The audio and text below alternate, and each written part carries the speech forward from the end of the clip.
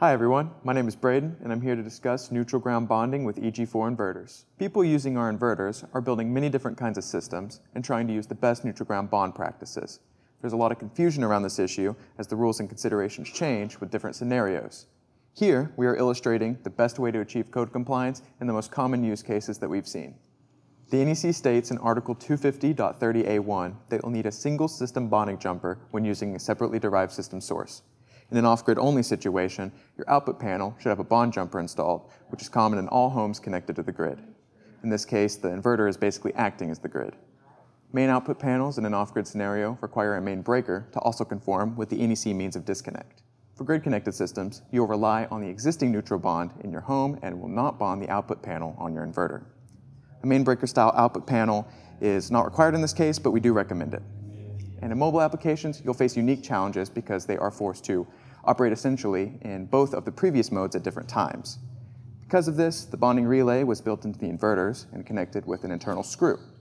Most mobile applications will use one inverter, but a two inverter system will result in multiple bonds close together, and while not perfectly aligned with building code, the ungrounded alternative is undesirable. Here, we'll draw out and explain all of these scenarios electrically. Here we have a typical standalone system where we don't use a grid source or have any service panel for the AC input side. Since you always want your inverter output to have a disconnect source, and in most standalone cases you'll have more than one inverter anyway, your bond will need to be at your main breaker style output panel. While you could substitute a bonding screw in this case as a jumper in the disconnection means, it is not compliant if you have more than one inverter in your system like most of our customers tend to do any generator connected to your inverter, excluding the use of a charge chargeverter, will need to either have no bond or use a three-pole transfer switch to keep a continuous neutral. All inverters shipped since November of 2022 have the bond screw removed to make this easy, so if your unit has the original black terminals, then you will likely need to remove the bonding screw inside. Next, we have a system that is using the grid as a backup source of power. The inverter would supply power whenever it could and transfer to the grid for occasional support automatically. Normally your inverter is passing through the utility neutral and the bond from your main panel is passed alongside. But when the grid goes down, the inverter's built-in neutral relay would disconnect the utility's neutral to create its own. This is where the default internal bond screw would normally be applicable to create a bond since you will no longer have access to the grids.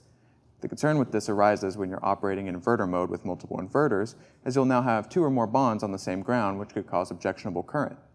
This would be in violation of NEC 250.6, so the answer would seem to be just to take out the screw entirely, but then you'd have an unbonded system when operating in inverter mode.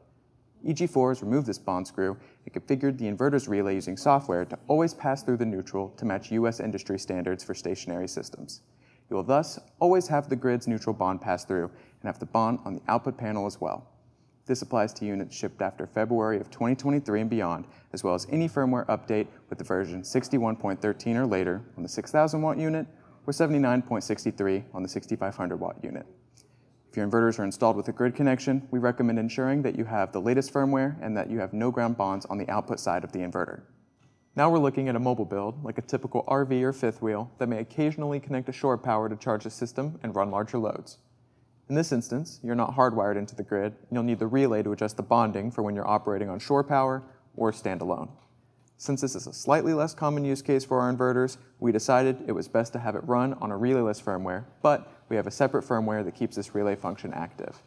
To use it, all you'll need to do is ensure that you have the bonding screw, which is an M2.5 by 10 millimeter, mounted like so. And install our mobile firmware available at eg4electronics.com slash downloads. Since our units are now shipping without the bond screw, we have made the screw available at one of our links below.